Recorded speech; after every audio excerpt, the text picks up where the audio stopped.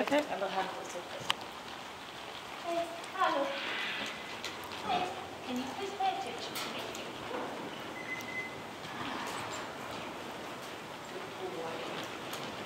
So your biggest focus is um, where's your attention? Can you bend? Where's your head carriage?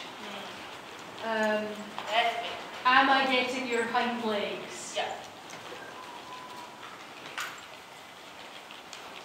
A bit um, rushy now, isn't Yeah, it, it's way better than it was when you started. Yeah. But there's an inconsistency to it, isn't there? And that, as, as much as it's partly surroundings and everything,